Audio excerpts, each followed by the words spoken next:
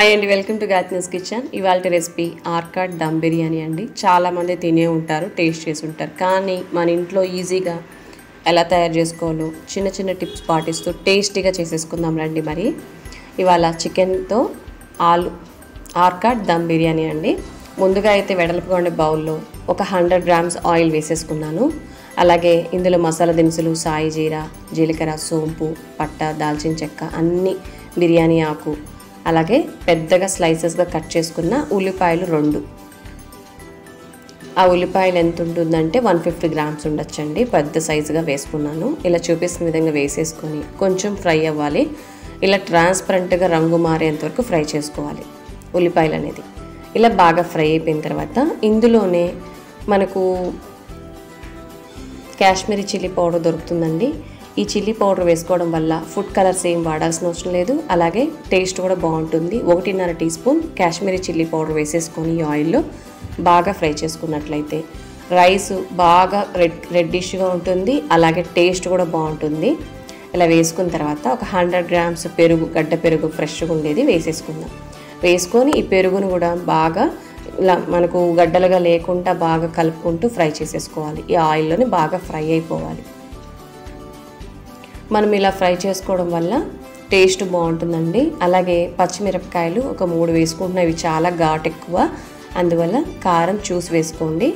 అలాగే ఇందులో అల్లం వెల్లుల్లి paste one and half teaspoon వేసేసుకొని బాగా పచ్చివాసన పోయేంత వరకు కలుపుకొని పుదీనా కొత్తిమీర కూడా బాగా ఫ్రై అయిపోయింది కదా?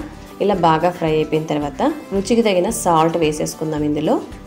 ముందే వేసేసుకున్నట్లయితే మనకు వెతుక్కోకుండా చూసుకొని కరెక్ట్గా ఒకేసారి వేసుకుంటే సరిపోతుందండి. ముందు వెనక వేసుకున్నట్లయితే టేస్ట్ సరిగ్గా ఉండదు. ఇలా రెడీ చేసేసుకున్న తర్వాత ఇందులో టమోటాలు మీడియం సైజ్ టమోటాలు ఒక హండ్రెడ్ గ్రామ్స్. ఉల్లిపాయలు ఎంత తీసుకున్నామో టమోటాలు కూడా అంతే తీసుకున్నానండి. పెద్ద సైజ్ అయితే మూడు తీసుకోండి చిన్నవి అయితే నాలుగు లేదా ఐదు తీసేసుకోండి. ఇలా సన్నగా పొడవుగా కట్ చేసుకొని వేసేసుకొని బాగా మగ్గనివ్వాలి. ఇలా మూత పెట్టుకొని టమోటా కూడా బాగా మెత్తబడేంత వరకు ఫ్రై చేసుకోవాలి. ఇలా బాగా ఫ్రై అయిపోయి ఆయిల్ అంతా సైడ్స్కి వచ్చి జ్యూసీగా రెడీ అయిపోయింది. చూసారా? టమోటా కూడా బాగా మగ్గిపోయిందండి. ఇలా రెడీ అయిపోయిన తర్వాత మధ్య మధ్యలో అలా కలుపుకుంటుండాలి. ఇలా కలుపుకొని ఫ్రై అయ్యి దగ్గర పడుతుందనగా ఇప్పుడు మనము బిర్యానీకి తగినంత వాటర్ వేసుకోవాలి. ఒక గ్లాస్కి రెండు గ్లాసులు అంటే పాత బియ్యం అయితే కొత్తవి అయితే ఒకటికి ఒకటిన్నర సరిపోతుంది. ఇది చూపిస్తున్న విధంగా నేను రెండు గ్లాసుల రైస్కి మూడు గ్లాసులు వాటర్ వేసుకున్నాను. ఇలా వేసేసుకొని ఒకసారి బాగా కలిపేసుకుందాం.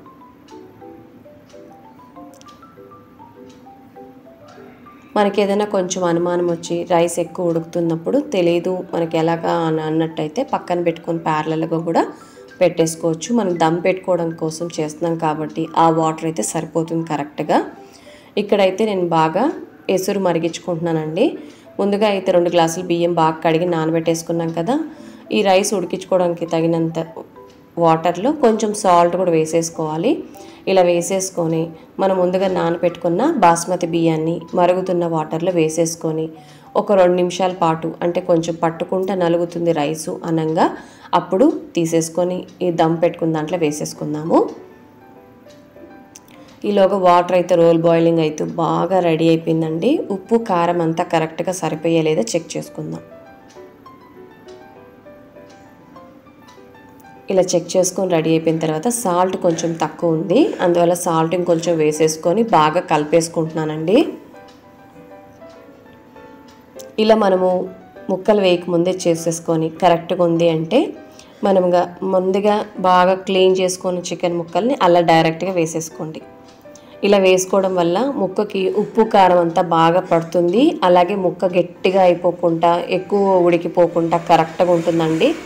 ముక్కలు కూడా కొంచెం అలా పట్టుకుంటే సగ భాగాన్ని కుడికింది అనగానే మనం రైస్ వేసేసుకోవాలి. అలా చిన్న చిన్న టిప్స్ పాటిస్తే సరిపోతుంది. టేస్ట్ కూడా అంత బాగుంటుందండి.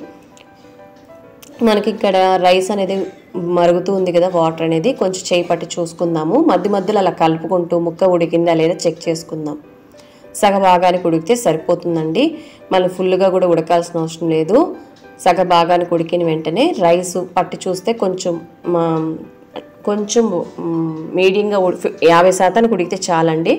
అలా ఉడికిన వెంటనే నీరంతా తీసేసుకొని ఇలా రైస్ పెట్టుకున్న దాంట్లో దమ్ పెట్టేసుకోవడం రైస్ పైన వేసేసుకొని దమ్ పెట్టుకోవడం అంతేనండి. చాలా ఈజీగా చేసేసుకోవచ్చు. టేస్ట్ కూడా అంతే బాగుంటుంది. చూడడానికి చాలా సింపుల్ అనిపిస్తుంది కానీ రుచి కూడా చాలా బాగుంటుంది.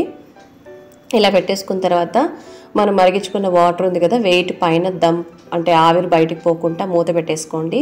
ఇలా పదిహేను నిమిషాల పాటు లో ఫ్లేమ్లో ఉడికిచ్చేసుకుంటే సరిపోతుంది. మనకు ఆల్రెడీ యాభై శాతం ఉడికిపోయింది కాబట్టి ఇలా ఒక పదిహేను నిమిషాల పాటు ఉడికిపోతే సరిపోతుంది. కొంచెం ఉడకాలి. కొంచెం వాటర్ అయితే లైట్గా ఉంది చివరన. మరొక ఐదు నిమిషాల తర్వాత చూడండి. స్మెల్ అయితే అదిరిపోతుందండి. ముక్క కూడా బాగా ఉడికిపోయింది. చికెన్ ముక్కలు కూడా. చూస్తున్నారు కదా మనకు ఆర్కాడ్ బిర్యానీ మనం బయట తీసుకొని తింటుంటాం ఎక్కువగా. రు రంగు రుచి అలాగే కరెక్ట్గా కుదరాలంటే మాత్రం ఇలా చిన్న చిన్న టిప్స్ పాటిస్తే సరిపోతుంది. టేస్ట్ అయితే చాలా బాగుంది. అలాగే ముక్కలకు ఉప్పు కారం కూడా బాగా పట్టి రుచిగా ఉందండి. ఇలా సింపుల్గా ఆర్కాడ్ బిర్యానీని మీ ఇంట్లో మీరు చేసుకోవచ్చు.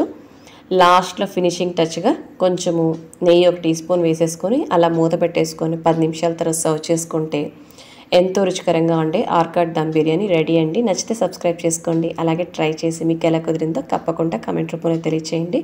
థ్యాంక్స్ ఫర్ వాచింగ్ బాయ్ అండి.